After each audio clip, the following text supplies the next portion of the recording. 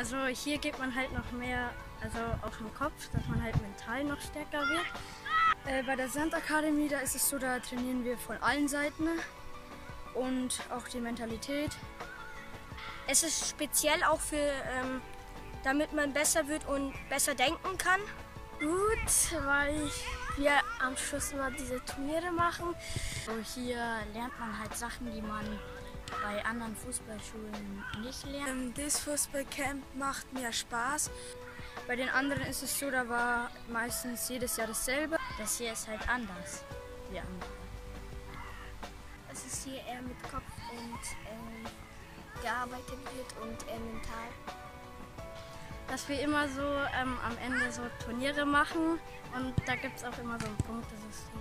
Und hier ist es halt, wo man dann auch körperlich besser wird und das wo es gesamt, wo man bei allem gut wird. Weil ich hier mehr gelernt habe.